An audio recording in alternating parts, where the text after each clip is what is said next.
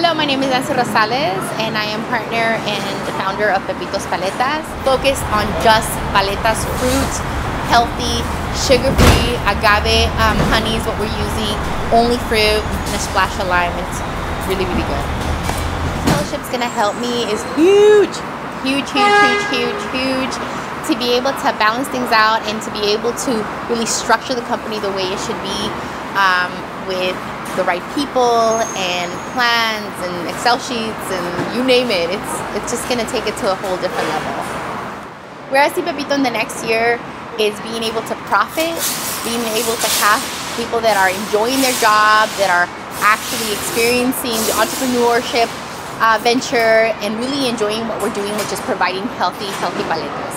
The importance of a fellowship like this for Latina women is huge because it balances out the economy.